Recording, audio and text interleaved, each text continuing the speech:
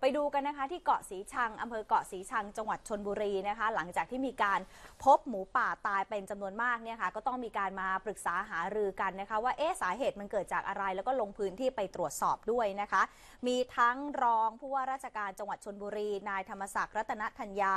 นายอำเภอปศุสัตว์จังหวัดชนบุรี แล้วก็สำนักงานสาธารณสุขจังหวัดลงพื้นที่ไปดูค่ะนี่ ไปเก็บซากมันขึ้นมาด้วยนะคะ มีการประชุมหารือกับเทศบาลตำบลเกาะสีชัง เพื่อจะตรวจสอบหาสาเหตุด้วยค่ะ จากการตรวจสอบล่าสุดของสำนักงานปศุสัตว์อำเภอเกาะสีชังเมื่อวันที่ 15 มกราคมนะคะ พบว่า หมูป่าบางตัวเนี่ยมีอาการซึมตัวร้อนผิวแห้งซีด อาจมาจากการขาดน้ำและอาหาร และเจ้าหน้าที่เทศบาลก็ยังให้ข้อมูลเพิ่มเติมด้วยว่า ตอนนี้เนี่ยมียุงชุกชุมเนื่องจากหมูป่าอาศัยอยู่ตามธรรมชาติ แล้วก็อยู่รวมกันเป็นกลุ่มตามกองขยะ อาจจะเป็นพาหะนำโรคปรสิตในสุกรได้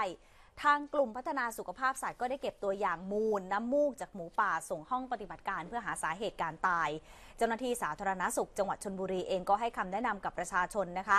ที่ดูแลหมูป่าอยู่ก็ให้ระวังเรื่องสุขอนามัยหลังจากการไปสัมผัสหมูป่าด้วย แล้วก็ระมัดระวังในการจัดการซากของหมูป่าที่ตายผิดปกตินะคะ ถ้าพบก็ให้รีบแจ้งเจ้าหน้าที่ และการเข้าไปกำจัดซากทำอะไรเสร็จแล้วก็ให้รีบทำความสะอาดร่างกายตัวเองด้วยนะคะ เพราะยังไม่รู้ว่ามันตายเพราะอะไรนะคะ